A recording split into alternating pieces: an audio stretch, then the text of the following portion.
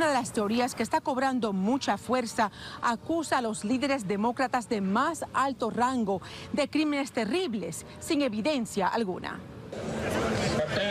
Los letreros y las camisetas con la letra Q aparecen en los mítines de la campaña del presidente Trump.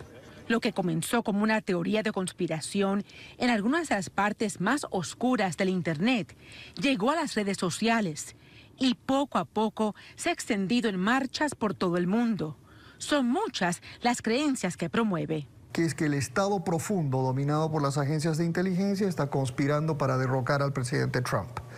Una segunda, que es una idea de que los demócratas están dominados por una un tipo de secta lleno de pedófilos, ¿no? Que promueven la pedofilia, que promueven el secuestro de niños, que promueven el tráfico humano. La serie de conspiraciones que comenzó a publicar en un tablero de mensajes políticos a alguien con el alias de Q y apellido Anón por Anónimo está afectando los votos para la presidencia, según afirma este profesor en ciencias políticas. Y eso pues ha calado profundamente especialmente entre los sectores religiosos, evangélicos, conservadores que apoyan al presidente Trump. Al preguntarle sobre el tema, el presidente dijo que no conocía mucho sobre el grupo.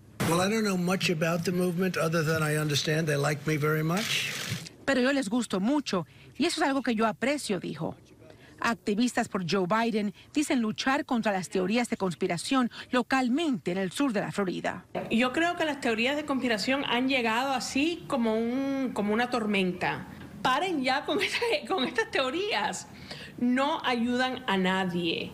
Y, para mí le hacen lo más, estas teorías de conspiración hacen lo más daño a las personas más vulnerables. En algunos sectores del país, algunas personas han tomado acciones basadas en estas teorías, incluso violentas.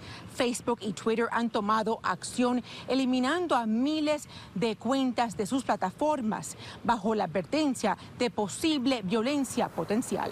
En Miami, Ana Cuervo, adelante en el estudio.